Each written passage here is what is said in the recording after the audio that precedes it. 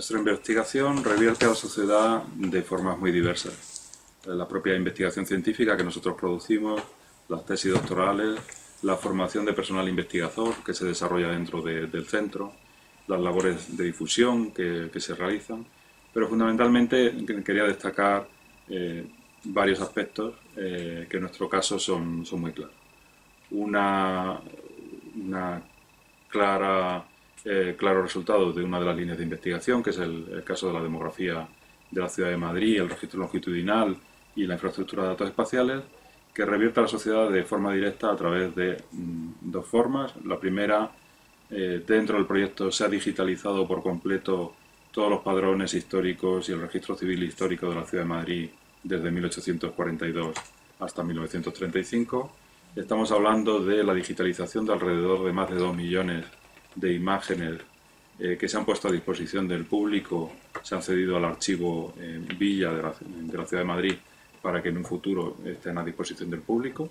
Y se han creado o se están creando los metadatos para que el ciudadano en el futuro pues, pueda acceder a estas partidas, a estos registros históricos de forma eh,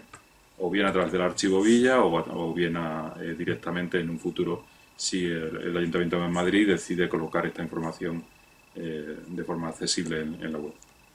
Una segunda forma en la que este proyecto directamente revierte a la sociedad es la creación de la infraestructura de datos espaciales de la Ciudad de Madrid, ISDIMAD. ISDIMAD eh, es una plataforma abierta con una serie de bases de datos detrás que cualquier ciudadano puede consultar y que está a libre disposición en, una página web eh, que podrán ustedes ver dentro de, la, de, este vídeo. Supongo que se, se, se colocará algún enlace para que, para que puedan acceder a ello. La infraestructura de datos espaciales ofrece una visión de la ciudad de Madrid única desde 1800 hasta la actualidad, 1860, eh, permitiendo conocer la ciudad de Madrid en 1900, eh, por ejemplo, a un nivel de detalle, de inmueble, eh, pues conocer todo el sistema de transporte de la ciudad, todas las esculturas, todos los edificios singulares, hospitales y otra serie de características, y se le vincula al registro longitudinal de población con alguna de la información que iremos añadiendo a la plataforma.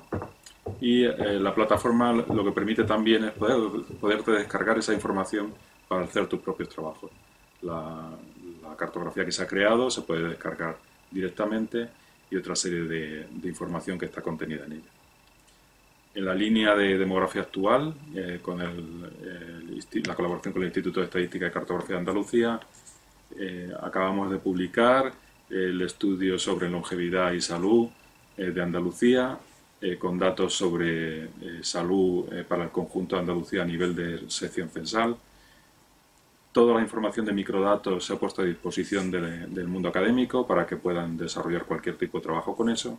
y la información puede ser usada también por cualquier tipo de empresa para hacer sus explotaciones y análisis de, mercado. Esa información está colgada en la página web del Instituto de Estadística y Cartografía de Andalucía y nosotros hemos colaborado directamente en su, en su desarrollo. Esa aplicación también tiene un sistema de información geográfica que permite conocer eh, también Andalucía a nivel de, a nivel de sección censal eh, con, un detalle pues, eh, muy importante. En una fase posterior, durante este año, haremos también la presentación de un producto estadístico similar, en este caso centrado en la fecundidad y en los hogares, que será otro de los aspectos que se, que se pondrán a disposición del público en general a través de, del Instituto de Estadística y Cartografía o a través de nosotros.